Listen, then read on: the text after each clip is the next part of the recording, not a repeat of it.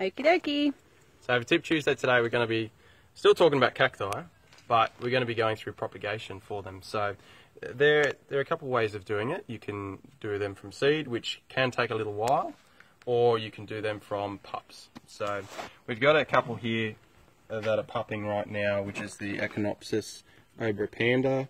Um, you've got Parodia scopa as well, There's a couple of little pups there. Um, Echino um, sorry, Mammillaria balsasoides. So you can use tongs, uh, you can use your tweezers if they're wide enough. Uh, use your gloves uh, just in case. So I like to just, just grab them with, with the tweezers, uh, sorry, with the tongs there.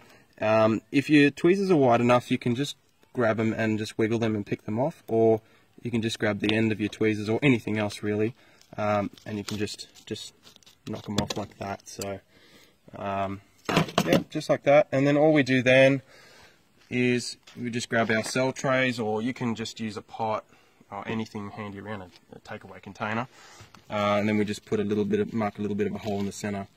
And that got me just a bit there, uh, and there again. And yeah, we just just pop it in there. Um, so you can use a potting mix, you can use like a seed raising mix. Uh, either will do the job for you. So you'll see here we've done some from seed. This is actually a golden barrel cactus. Uh, it's quite, when did I sow those? Around November uh, last year. So quite quick to germinate, but very slow afterwards to, to go to get going. So that can take quite a while, a few years, probably even longer than before they're at a nice size. So I tend to find pups are, are easier um, to grow quicker because they've already kind of got that head start. Um, but yeah, hope that you find that helpful. Give that a go if you've if your cacti at home have got some pups on them. Uh, good time to do it. It's still quite nice and warm. And uh, yeah, safety uh, first.